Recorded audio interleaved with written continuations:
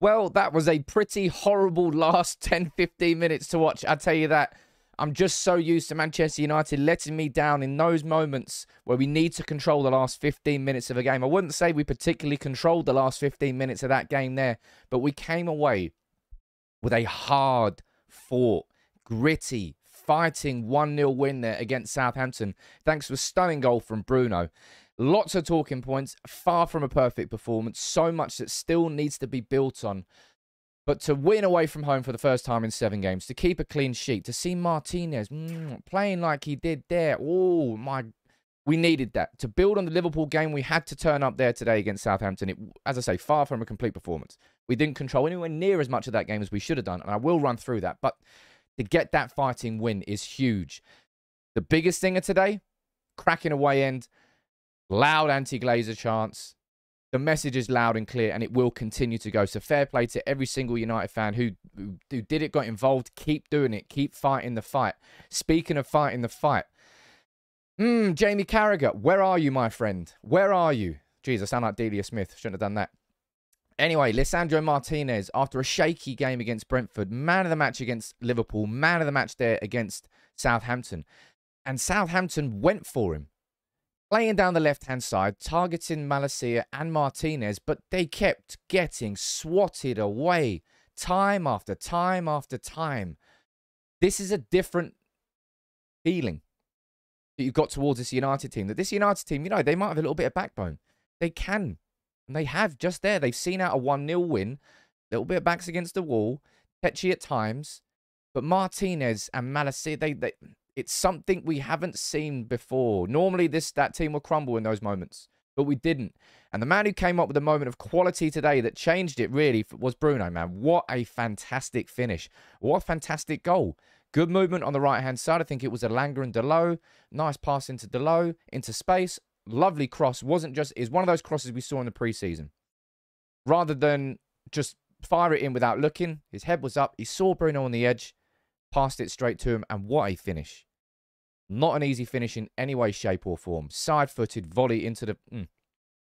And I'll be honest, there wasn't really too many moments of real quality in that game from United. We had a lot of the ball sometimes, and then uh, no ball other times. We we had control. I don't think we really had too much control of that game. The midfield.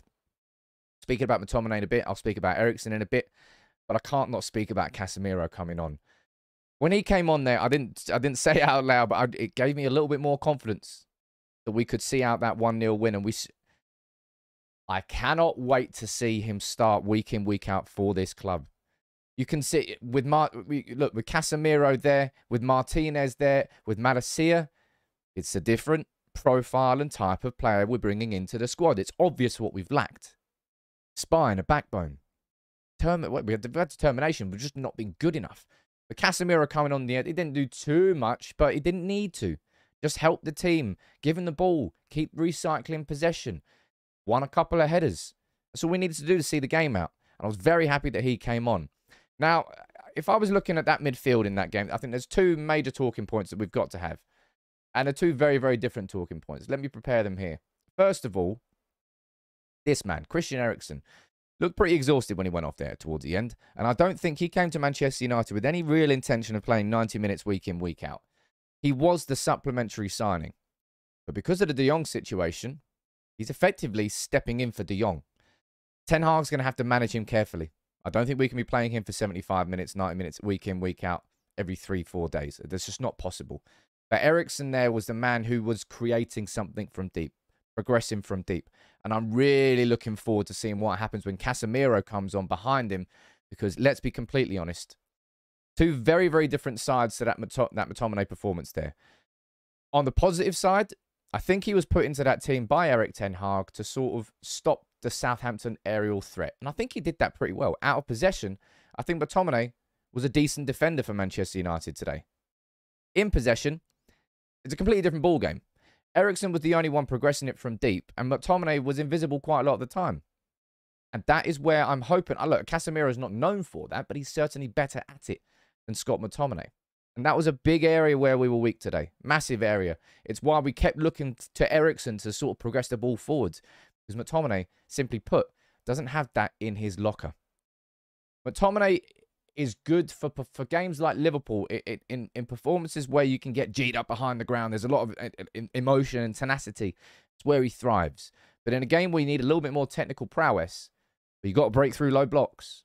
That's not where you're going to get the best out of Scott McTominay going forward. But from a defensive standpoint, I thought he did the job that Ten Hag wanted him to do today. I think Ten Hag will probably be happy with his overall performance and the fact that we won 1 0 and we got a clean sheet. Tell you who else played very well today. Diogo Dalot. Still has so many critics. Shaky performances so far. I thought him and Martial were the two players who really took to Ten Hag's system the quickest in pre-season. And that was a cracking cross for Bruno. But it wasn't just that. He had a tough time down the right-hand side. Busy a lot of the game. Think he did pretty damn well for the majority, if not the whole game. Fair play to Diogo Dalot. If I'm being completely honest, I don't particularly think that Anthony Elanga had a good game in any way, shape, or form. And I would put that in the same category as I would put Scott McTominay in a game like Liverpool, where you're playing with the intense press, you're using the pace, you're using that enthusiasm, the youthful legs of Langer, it's where you're going to get the most out of him. But I don't think in a game where you need a little bit of technical prowess, right, this is why we're going after Antony. That performance there from Elanga shows exactly why we're going after Antony.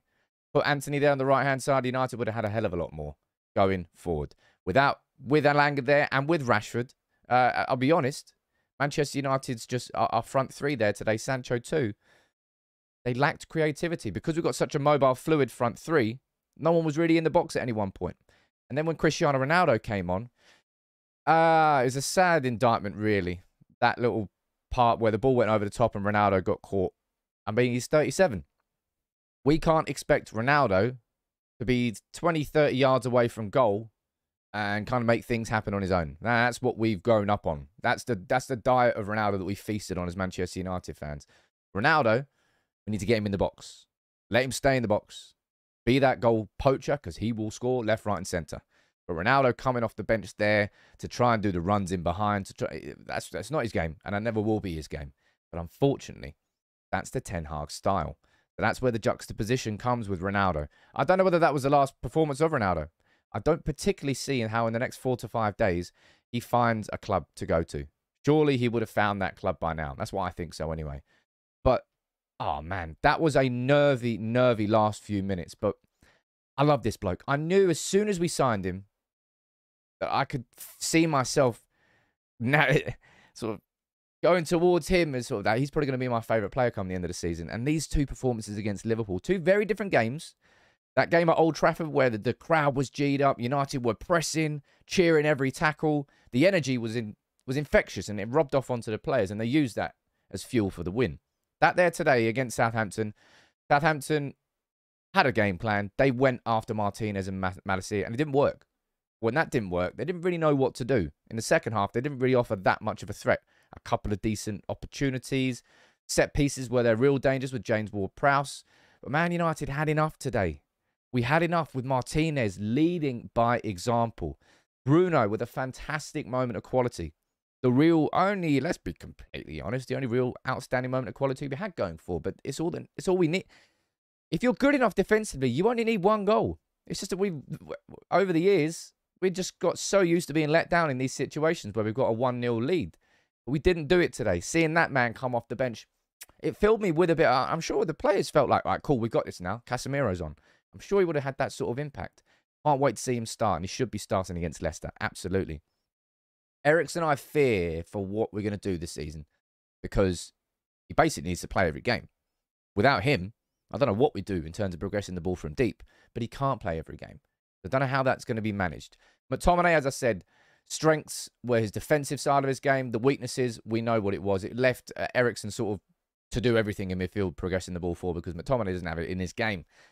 Below, decent from him. Elanga, we've spoken about him. And Ronaldo, I mean, let's see what happens in the next few days. But I've got to focus, as I say, finish on Martinez.